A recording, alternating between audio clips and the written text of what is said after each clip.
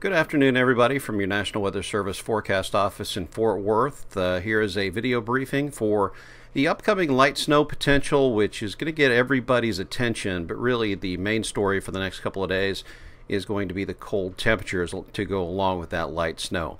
Very little impacts are really uh, expected from this light snow system. Now, light snow is possible starting after midnight tonight, most likely really between about 3 a.m. and 6 a.m. is when it's going to start. Flurries are possible throughout the day, pretty much all day on Friday.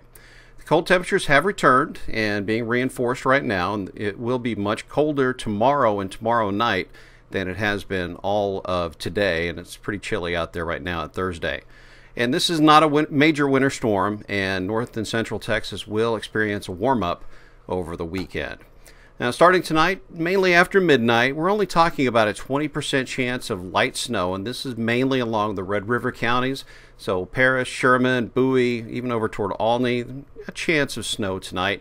Very light accumulations, if any, are really possible. The light snow uh, will continue on Friday, and most of the impacts are really being expected to the north of this uh, pink line, and that's from around Bowie down to around Sulphur Springs.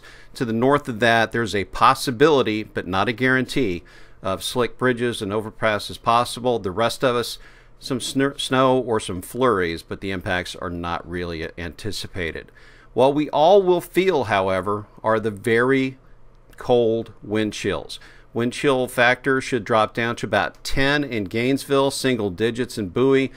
12 in DFW, about 16 in Waco and Temple. Lampasas, Killeen, that should be around 11 to 13. So those north winds at 15 to 20 miles per hour with some higher gusts are going to cause a little bit more in the way of problems. Well, thanks for watching this. Just remember, light snow is possible, but cold temperatures are going to be the main impact from this storm system. Just continue to watch our website plus our social media for any changes or refinements to this forecast.